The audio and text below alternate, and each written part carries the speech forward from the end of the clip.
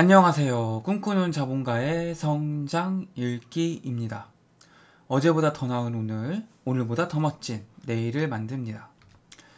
네, 오늘은 쇼펜하우어 딱 좋은 고독 쇼펜하우어 딱 좋은 고독이라는 책을 가지고 이야기를 나눠보도록 하겠습니다.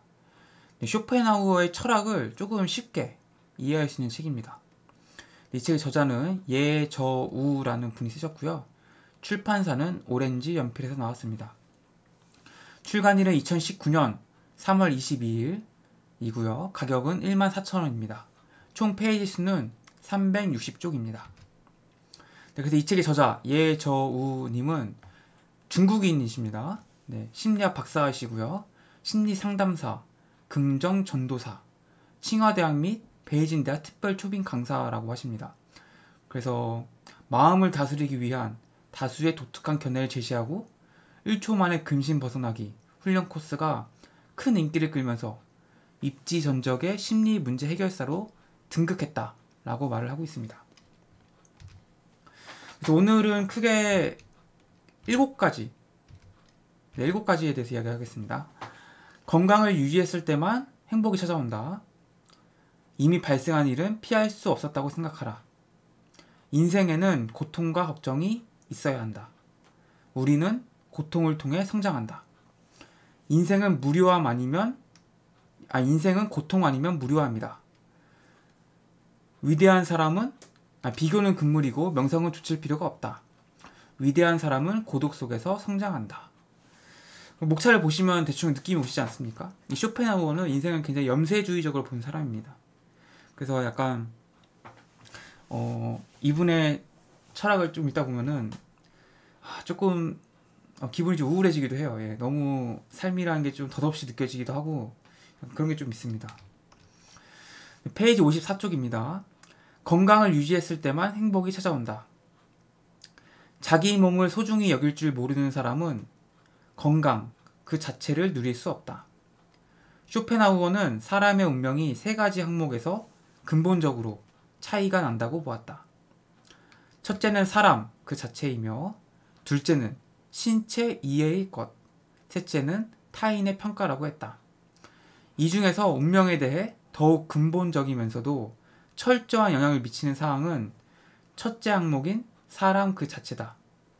사람 그 자체에는 건강, 역량, 외모 기질, 도덕적 품성, 정신과 정신과 지적 능력 및 잠재적 발전 능력이 포함되어 있다. 그리고 건강이 최우선순위다. 건강은 기타 외적인 것의 장점을 모두 압도해 버릴 만큼 중요하다. 게다가 모두들 행복 지수는 대개 건강에 좌우됐다고 말하지 않던가. 건강을 유지했을 때만 행복이 찾아온다. 건강과 신체 외적인 것을 수치화했을 때 건강이 1점이라면 재화와 지위, 권력, 명예 등 쟁취하려는 모든 것은 전부 0점이다. 그런데 사람에게 염점 항목이 있을 때 행복해지려면 1점이라는 가치가 아직 남아 있어야 한다.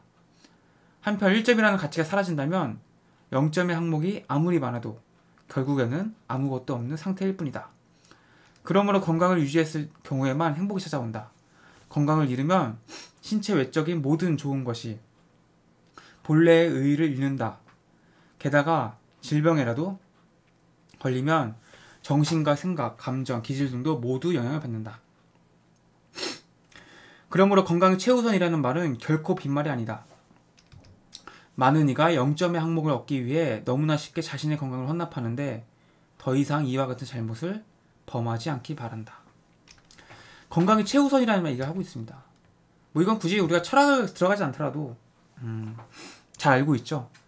우리가 참 근데 건강을 망쳐가면서 돈을 버는 경우가 많은 것 같습니다.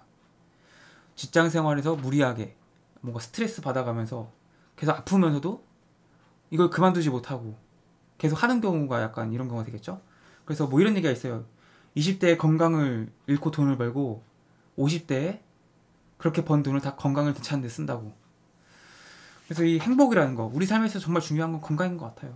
건강하지 못하면 정말 정신력도 나약해지고, 뭘 하려고 해도 힘들고, 정말 아무것도 안 되는 것 같아요. 그래서 그 건강이라는 게 정말 돈으로도 살 수도 없고, 정말 중요한 가치인데 우리가 기본적으로 대부분 건강하다 보니까 이 건강의 가치를 잘 못 느끼는 것 같습니다.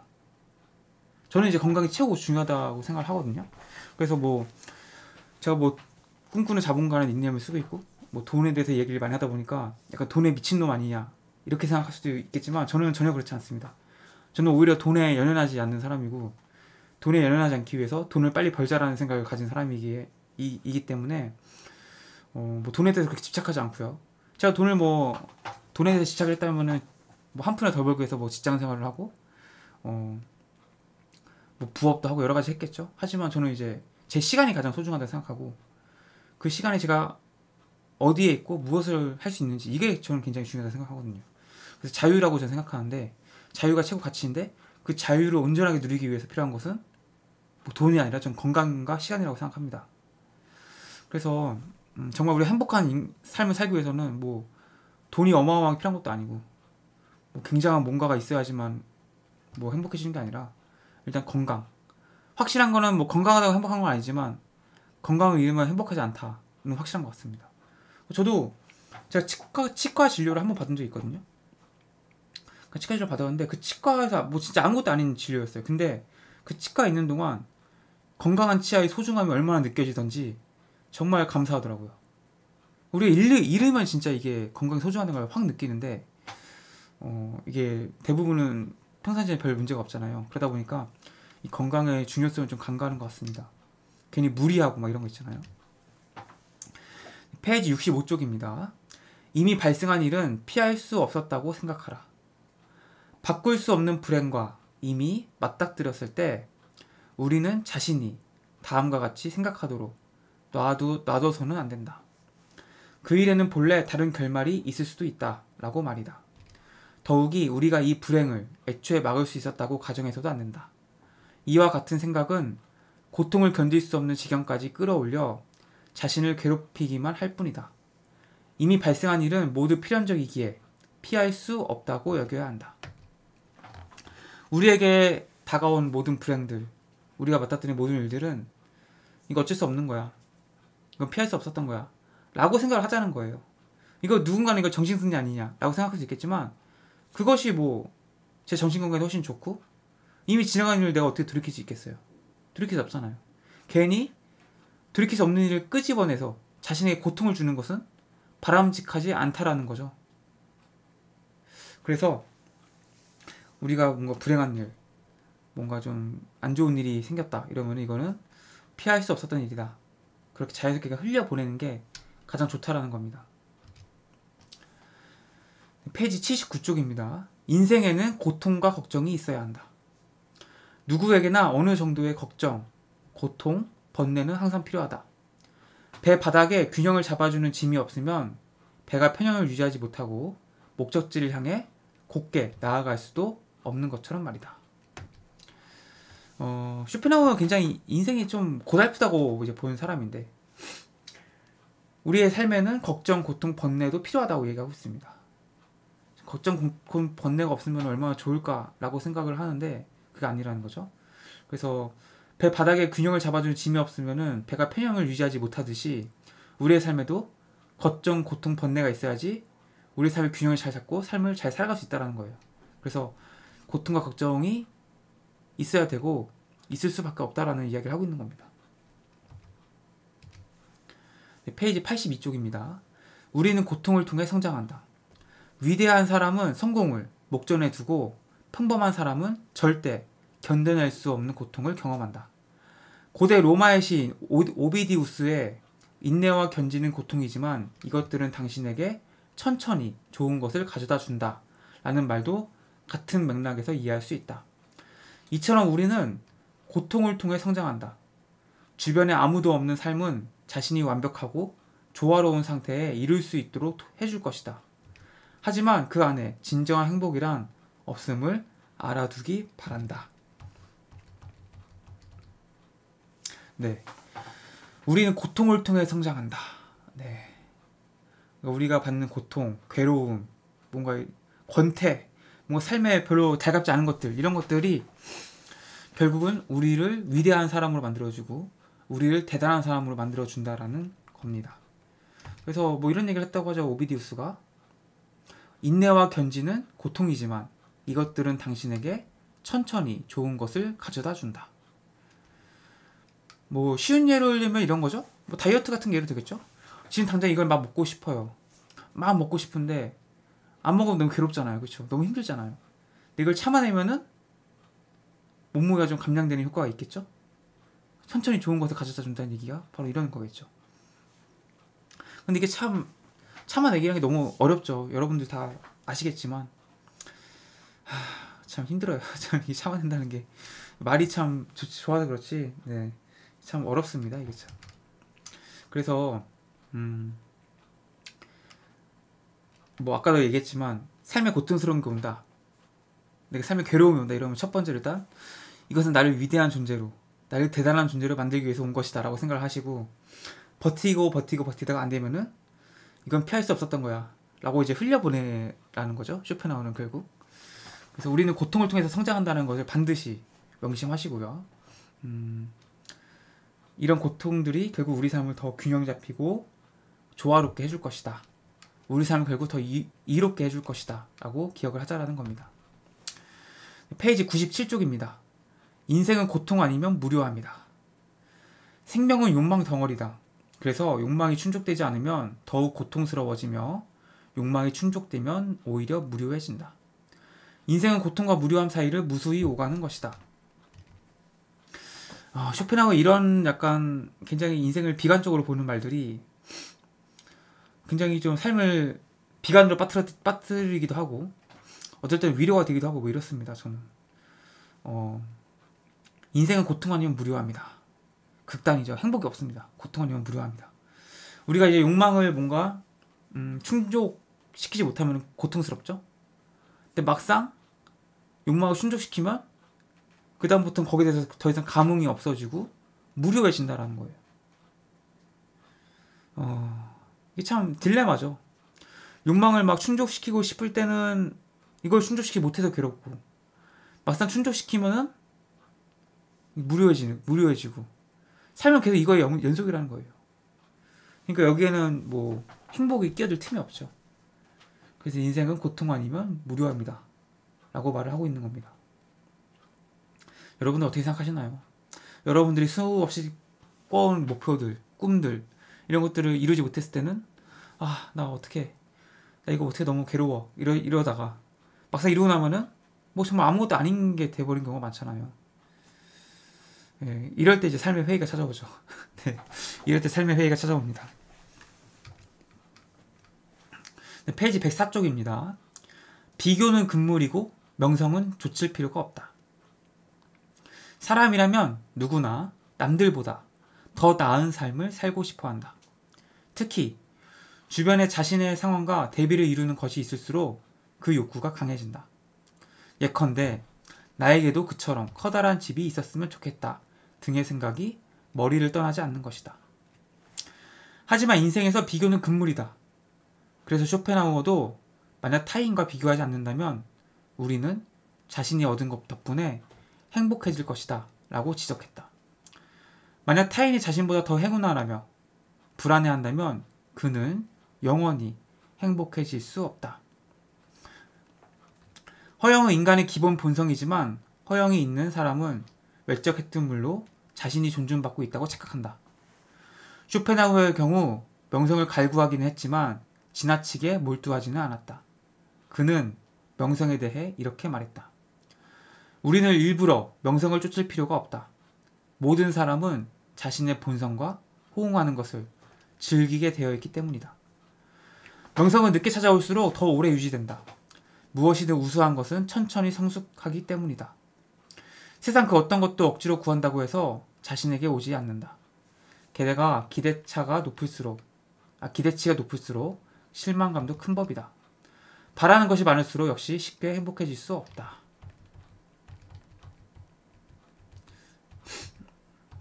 명성, 비교 이런 거 하지 말라는 겁니다. 명성을 쫓지 말고 비교는 하지 마라. 기본적으로 우리는 남들보다 더 잘 살고 싶은 욕망이 있죠. 특히 내 주변에 있는 사람들보다, 내 친구보다, 옆집 사람들보다. 그러니까 이 비교를 하기 시작하는 거예요. 벌써 이게 뭐 엄친아라는 말, 엄친딸이라는 말이 있는 것도 결국은 이런 비교에 했다는 거죠. 그래서 뭔가 먼 사람, 뭐 영화 배우라든지 뭐 스타들이 뭐 얼마나 벌었다 하면 감흥이 없는데 주변 사람들이 뭐 1억 벌었다 이러면은 굉장히 큰 뭔가 감정의 변화가 생기게 되죠. 그래서 쇼펜하우가 이런 말을 했다고 해요. 만약 타인과 비교하지 않는다면 우리는 자신이 얻은 것 덕분에 행복해질 것이다. 타인과 비교하지 않으면 우리는 더 행복해질 거라는 거예요. 그래서 이 말을 조금 바꾸면은 타인이 자신보다 더 행운하라면은 우리는 결코 행복해질 수 없다라는 말이 되는 거죠. 그래서 약간 다른 사람과 비교하지 말라는 겁니다. 비교하면은 정말 끝이 없습니다. 저도 물론 계속 비교를 하고 뭐 거기서 뭐 괴로움도 느끼고 하지만 저도 점점 안 하려고 노력하고 있고 어, 점점 많이 안 하고 있거든요. 어, 오로지 나만 보고 내 템포에 맞춰서 내, 내 발걸음 속도에 맞춰서 한 발짝 한 발짝 걸어가는 데 의미를 둬야지 저 멀리 가 있는 저 앞에 가 있는 사람들 생각하면서 비교하기 시작하면은 정말 내가 너무 한없이 초라해 보이고 정말 아무것도 뭔가 이루지 못한 것처럼 정말 자존감도 내려가고 그리고 불행해지더라고요. 그래서 비교라는 게 정말 독이구나 라는 생각 많이 합니다. 그래서 심지어 제가 과거에 어떤 책을 봤을 때는 비교는 나보다 못한 사람하고만 하라고 그런 얘기를 하기도 했습니다. 네. 명성에 대해서 이렇게 얘기했다고 해요. 쇼펜하우가. 우리는 일부러 명성을 쫓을 필요가 없다. 모든 사람은 자신의 본성과 호응하는 것을 즐기게 되어 있기 때문이다. 명성은 늦게 찾아올수록 더 오래 유지된다. 무엇이든 우수한 것은 천천히 성숙하기 때문이다. 여기서 천천히라는 말이 참 저에게 위로를 주네요. 제가 아직 명성이 없어서 천천히란 말에 참 네, 위로가 되네요. 네. 어쨌든 명성이라는 것은 너무 쉽게 쫓아서도 안 되고 쉽게 얻어서도 안, 되란, 안 된다는 거죠. 그래서 뭔가 천천히 차고차고 쌓아가는 거라고 생각하고 조급하게 생각하지 말라는 겁니다. 그리고 제가 참 공감했던 부분인데 이런 얘기 나와요. 기대치가 높을수록 실망감도 큰 법이다. 바라는 것이 많을수록 역시 쉽게 행복해질 수 없다.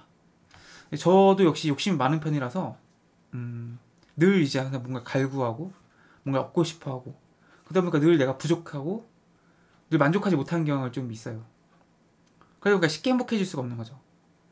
근데 저는 이제 쉽게 행복해질 수 없으니까 노력하는 것에서 오히려 행복을 찾는 편이에요. 내가 그냥 가만히 이 정도에서 만족하지 못한다는 걸 알고 있기 때문에 거기서 행복을 찾으려고 하지 않고 내가 뭔가 얻으려는 목표 이것을 노력하는 과정 속에서 내가 이렇게 노력하고 있어. 여기서 이 자체에서 만족감을 느끼려고 하는 편입니다. 제가. 네, 페이지 246쪽입니다. 위대한 사람은 고독 속에서 성장한다. 위대한 사람은 대부분 고독 속에서 성장한다. 고독은 개인의, 영, 개인의 열광, 열광은 군중의 고독이라는 말도 있지 않은가. 이는 바보 100명이 모임을 갖는다고 해서 총명한 사람을 만들어낼 수 없는 것과 같다. 성공한 사람의 고독감은 일반인보다 훨씬 강렬하다. 자신이 많이 가졌을수록 다른 사람이 자신에게 줄 수 있는 게 적기 때문이다. 탁월한 정신세계를 지닌 사람은 자신의 가치를 확신하므로 타인과 사귀기 위한 타협을 하지 않는다. 즉, 개인의 가치가 결핍되어 있을 때에나 쉽게 다른 사람과 영합하려 하며 자신이 더 많이 찾는 것이다. 이는 다른 사람에게 인내심을 발휘하는 게 훨씬 쉬워서다. 쇼펜하우어는 말했다. 이 세상에서 정말로 가치 있는 것은 절대 사람들로부터 주목받지 못한다. 남들의 주목을 받는 것은 주로 가치가 결핍된 것이다. 가치를 지닌 사람은 일반적으로 은둔을 좋아한다. 게다가 이들은 어느 정도 자신의 욕구를 줄이면서도 자신의 자유를 최대한으로 확대할 수 있다. 우리는 모든 걸 자기 힘으로 해야 한다고 말한다. 이는 사람이 본래 고독한 존재임을 설명하는 말이다. 어떤 문제에 직면했을 때 누구도 대신 해결해 줄 수 없다. 오로지 혼자서 해결해야 한다. 이 부분은 제가 어, 아주 공감을 하는 부분입니다. 제가 실제 이렇게 살고 있기도 하고 저는 굉장히 고독함을 즐기고 약간 고독한 삶을 살아가고 있거든요. 다른 사람과 교류를 잘 안 합니다. 그러니까 뭐 저도 이제 뭐 책을 쓰고 작가다 보니까 주변에 작가들도 많이 생기고 뭐 또 작가들은 다 각자 개인 사업자인 경우가 많지 않습니까? 그러다 보니까 뭐 협업이라든지 뭐 콜라보 특히 저 유튜브를 하고 있기 때문에 유튜브에서 뭐 콜라보를 뭐 하는 뭐 이런 얘기도 많이 나오는데 음, 저는 이제 어차피 다 혼자서 해야 된다는 생각이 있어서 안 하는 거죠. 어차피 내 인생 혼자 살아야 되고 내 문제는 내가 해결할 수밖에 없다. 라는 생각 갖다 보니까 그 다른 사람들과 잘 협업을 잘 안 하게 되는 것 같아요. 협업을 잘 안 하다 보니까 이제 조금 느리게 크는 것도 사실 있는 것 같고 성장이 조금 이제 결핍이 되는 거죠. 약간 이런 문제가 사실 있는 것 같긴 한데 그러니까 쇼펜하우어가 이렇게 말해주니까 좀 좋긴 하네요. 네. 어 저는 이제 뭔가 음, 다른 사람들의 힘을 빌어서 뭔가 저를 뭔가 성장시키고 뭔가 실력을 키우고 이런 것보다는 오롯이 혼자서 뭔가 쌓아나가고 해나가는 게 진짜 제 실력이 된다고 생각하는 경향이 좀 있습니다. 그리고 다른 사람이 뭔가 도움을 준다고 해도 잘 받지도 않은 편이고 어떻게든 혼자의 노력으로 혼자서 해결하려고 많이 하는 편이죠. 그래서 약간 고독한 존재라고 더 공감하는 것 같아요. 그래서 음, 이 세상에서 정말로 가치 있는 것은 절대 다른 사람들부터 주목받지 못한다. 남들의 주목을 받는 것은 주로 가치가 결핍된 것이다. 라는 말을 쇼펜하우어가 했다고 해요. 그래서 여러분들이 뭔가 외롭고 고독하다면은 여러분들이 가는 길이 어, 굉장히 나 혼자 가는 것 같다. 아무도 날 알아주지 못한다라고 생각하시면은 그거야말로 정말 가치 있는 것이다. 정말로 가치 있기 때문에 다른 사람이 아직 못 알아본 것이다라고 생각하고 자신의 길 꿋꿋이 어, 가셨으면 좋겠습니다.